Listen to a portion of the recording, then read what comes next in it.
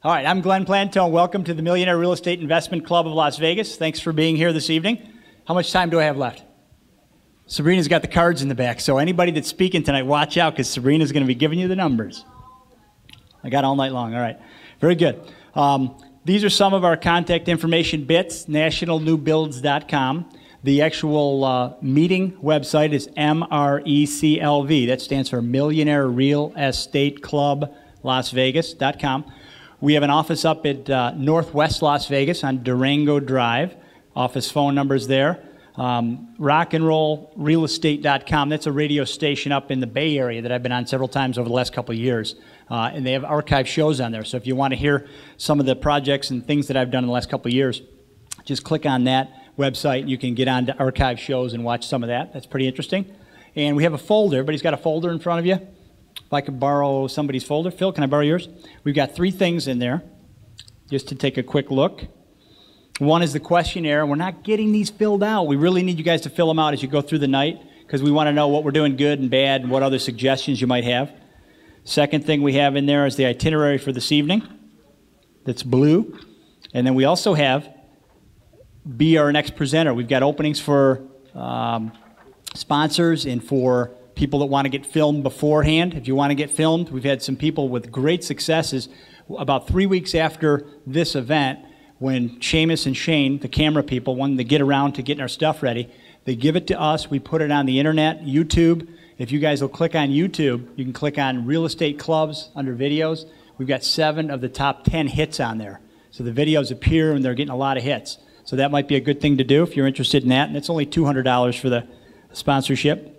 And then we've got another flying by coming up for the project that we've been doing in Orlando, Florida uh, the hotel condo project priced at about 175,000. It's been a very good project for us. We've got another flying by about a month from now. So if you're interested in any of that, just get with us.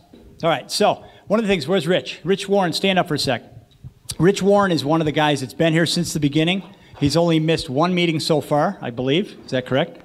Uh, so we appreciate guys like Rich. One of the things that Rich said to me, I was talking to him a couple days ago, and he said, you know, one of the biggest parts to this meeting is the hour before the meeting, the networking, the marketing, the meeting other people. I know a lot of times, uh, a few months back, I met a young guy that came in and said he wanted to do um, fixers and whatnot, get involved with it. Well, Rich has been doing fixers for a while, so I really encourage people to come early and network and market with other people, and it's a good chance to meet people and find out, you know, where you're going and who's doing what, and good chance to uh, form some relationships that'll carry on. Uh, what's the what's the vision of the club? Uh, one, of course, is uh, other than networking and marketing, is to learn about trends in real estate. Now we talk about not just local things. We talk about national. We talk about international. Wolf's here today, or he's hiding. Uh, he's going to talk about Germany, which is uh, out of state, I believe. Um, we look at um, we have fun, obviously. You can see I'm up here having fun, and I encourage you guys to do the same. Oh, there he is. There's Wolf right there. He's trying to sneak by. Um, I want to give you a quick take, my take on real estate. And some of the guys that are in here, like the Sullivan Square guys, they're, they're going to appreciate this.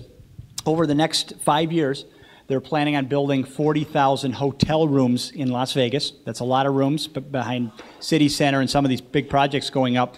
Each hotel room equates to about seven people needed. Uh, if you multiply that 40 times 7, you get 280,000 new people that are needed for jobs. Let's say we double that because maybe a family moves to town and the wife doesn't work, the husband does, or vice versa. So we're looking at a half a million people in the next five years needed in Las Vegas. So I know we're having a little downtrend as far as residential housing right now, but uh, obviously that will eventually stop when the builders stop building, which they're doing now because they don't have they're not permitting, nobody wants to buy. There's a lot of inventory out there. Once that inventory gets eaten up, things will turn around. I don't think they're going to ever go what they did before.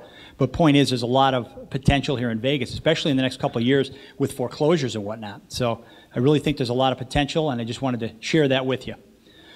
Um, YouTube, we talked about the sponsorship. We've had some people with great success. So anybody wishing to get filmed, see Sabrina. Sabrina's over there. If you haven't met her, put the signs up, the five-minute signs. There we go. All right. All right, some of these sponsors we've had in the past, we've had the MMA mortgage, the people that are uh, cutting your mortgage down to six, seven years. We've had 1031 people. David with IPX has been in. Home Tenders has been in a couple times. That's the deal where if you're a realtor, how many realtors do we have in the room, by the way? We've got about seven or eight over there and a few over here. That's the one that what they do is they, they more or less move somebody into your house and stage the house, and they live there.